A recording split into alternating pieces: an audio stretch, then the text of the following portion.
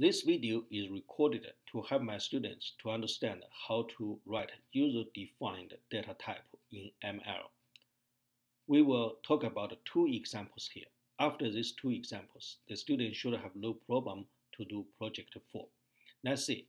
First example, write a function sum of type integer mylist to integer that will return the sum of all elements in mylist used above mylist definition. So mylist is defined in this way. Data type is a keyword. Define new data type. My list is the type constructor. Take an argument is element. If this element is integer, create an integer mylist. If the element is real, create real mylist. If element is string, create my uh, string mylist. So layer and cons, they are data constructor. Layer has no parameter and cons take two parameters. One is element, another is list my list of those uh, element. So first we need to pay attention is this take me some time to figure out because this text editor I use they will not handle this notation well. You see after type you can see the slightly different between this one and this one. So if you type it will be uh, different. It will not work. So in order to make it work, what I needed to do, I did first uh, type the same thing on the terminal window, then copy it over. So let's say, for example, I will uh, cd to the uh, folder I save this file first, which is documents, video, then CSCI 461. Then if I type SML, then I type data, type element my list equal either layer or cons of element by element my list. Okay, so I define a new data type. Now I will copy this one, then paste it to here. Now you see this notation is a little bit different. Okay.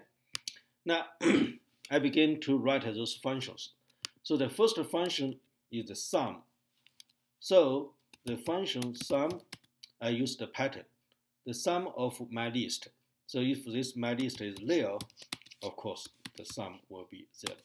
Or if this my list is not real, there must be cons of some head and the tail. The head is a, uh, a integer, tail is an integer my list. Then this sum, of course, will equal what? Will equal head plus the sum of the tail, right?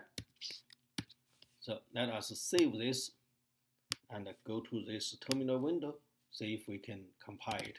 So we'll use example 4 dot SML. So it's a same cycle, okay.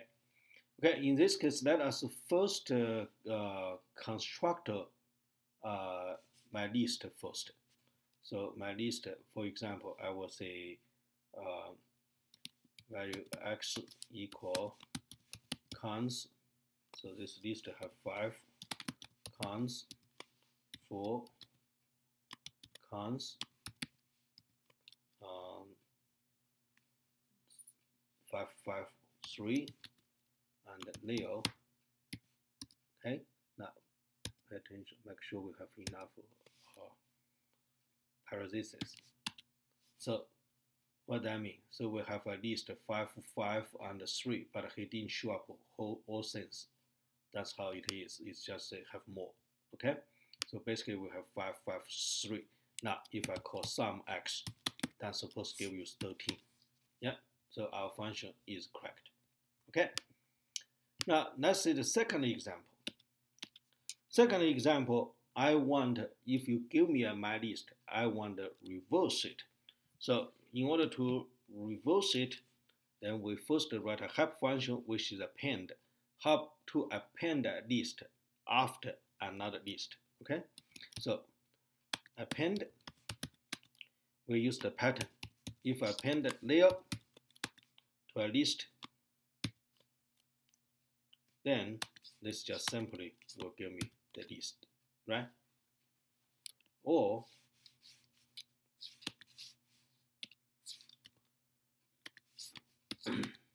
if I append cons of x, which is head, and xs to L, then what happened? Of course, in this case, I will really append the tail under this L, then cons with the x. So this will equal cons of x comes with what? Comes with append, if I append xs with L. Of course, in this case, I might want to put them together. Append here. Since append is one, you have two here. If I append layer and L, will just simply give me L. If I append cons with L, right? Then it's the, which the cons is cons the head and the tail, right? So equivalent, I append the tail on the second list first, then comes with x. This should be okay. This is append. So let's save it and try to see if append works. So use example 4 dot SML. Okay, so do can append. So in that case, let us try out. So suppose I have value x equal cons uh, for Leo. That's one list, right? Okay. Then I have value y equal cons 3 Leo, right? That's another list, right? So let us append append xy, see what it give to us. You see, you have 4, 3, okay? That's the list. So append is right. After the append is correct, then I try to say write down reverse. So reverse Leo is Leo, right? We use the pattern, okay? Now, if we start a Leo, how can I reverse it? Reverse comes again, if you have head and tail, how can you reverse it? Now this will just simply I reverse the tail first, right? Then I append the list of the head with the layer uh, after it. So I call append. So I first reverse the tail. Okay. Then I append the cons of the head and the layer. This is the list with only one element is the old head.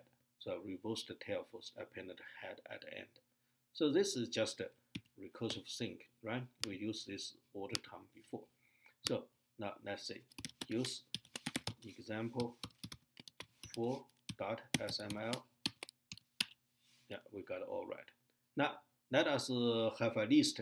If I have list 553, so value x equal cons uh, 5 cons let's see uh, 4 on the Leo okay let us make it a little bit simple. So it is 1 2 3 so this give you a list. Is 4 5 4 now if I reverse it reverse x suppose give you 4 5 okay? So if you have any questions please send me an email